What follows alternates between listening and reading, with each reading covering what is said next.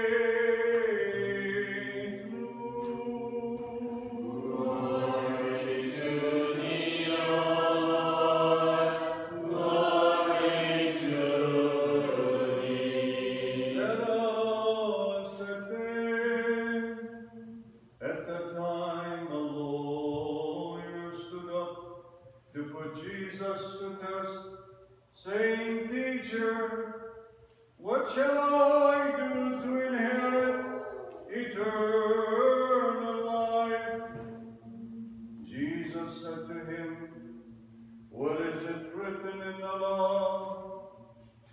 How do you read it?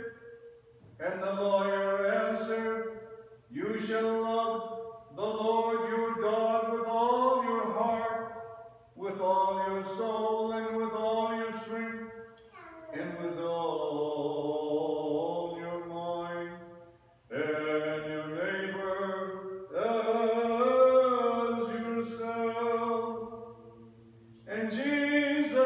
You have answered correctly. Do this and you will live.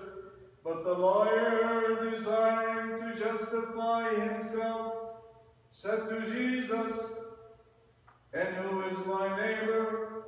Jesus replied, A man was going down from Jerusalem to Jericho, and he fell among robbers, who stripped him and beat him and departed, leaving him dead. Now by chance a priest was going down that road, and when he saw him, he passed by on the other side. So likewise a Levite, when he came to the place and saw him pass by on the other side, but the Samaritan, as he journeyed, came to where he was, when he saw him, he had compassion, and went to him, and bound up his wounds, and pouring on oil and wine.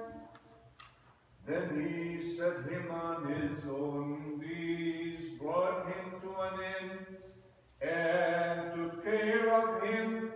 And the next day he took out two denarii and gave them to the innkeeper, saying, Take care of him, and whatever more you spend, I will repay you when I come back. Which of these three do you think proved neighbor to the man who fell among robbers?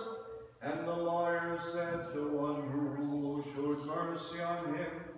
And Jesus said to him, Go and do